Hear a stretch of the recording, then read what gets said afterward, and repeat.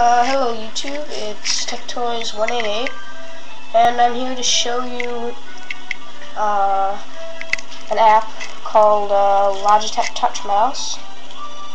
And um, I like the app for uh, my computer, but you could also use it for your laptop. And what it does is, you just go into it.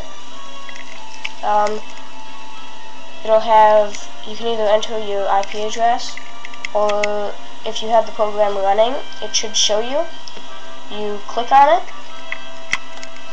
Um, it's got a little mouse pad and um, it also has left click right click um, and then you can type on it as a keyboard so you can see on my computer, there's my mouse, and I'm moving it around with my touch screen here. I'll try and show you.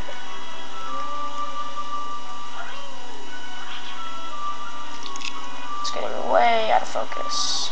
Anyways, but yeah, you can see that it works. Now, um, all you're going to do is you're going to go to this website that I have in the description and um,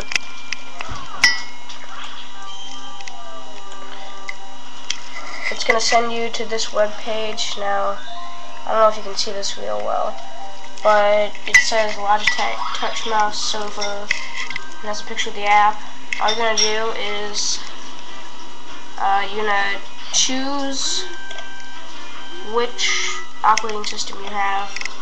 I don't know if you can see this real well, but I have XP, so you choose XP, and then it's going to load, select a file, touch, okay, now you want to do 32-bit, don't do 64, do 32. Now it's got all this crud about the program and things. Down here it's got this blue box. Download software. You're going to click that. Now, I already have the software, so I'm not going to do that, but you click Save to File. And then, uh, once you do that,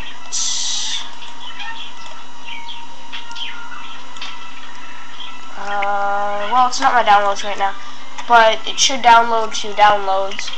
And then, um, uh, you just click on it in your downloads and install it on your computer. So, uh, once you've installed it on your desktop, you're going to go to the Start menu. Uh, all programs, it should be in there. And you can see there's Logitech Touch Mouse Server. You're going to pan it out click uh, the touch mouse server and when you do that it's going to create a little uh, icon down there. Mine shoot. Mine's right there. And it has a giant X on it right now. Now when I go on my iPod here and I click on the app it's gonna load. I'm gonna click my thing. Just connecting. Now, it went from having the X to a little like finger thing. So once once you have the little icon down there, uh, you need to make sure it's down there before you try and run the app. And then, just like I did, when you click on it, it should come up and now it should have some kind of thing with your name and some numbers that it didn't have before.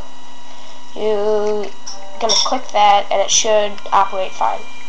Now if you don't have that, all you're going to do is where it says enter your computer's IP address, you're going to go down here, you're going to click on the little icon, now this pops up. Now, I'm going to leave mine blue so you can't see my IP address.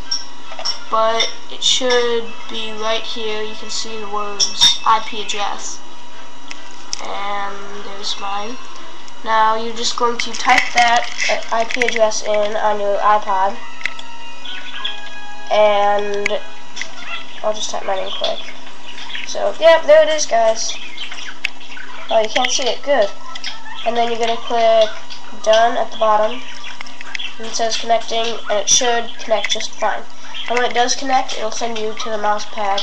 And if it doesn't connect, it won't. And then you're set up, guys. That's just about it. Uh, hope you enjoyed this video. Like I said, I'll have the link to the uh, download in um, the description. So, uh, thanks, subscribe, and rate this video 5 stars.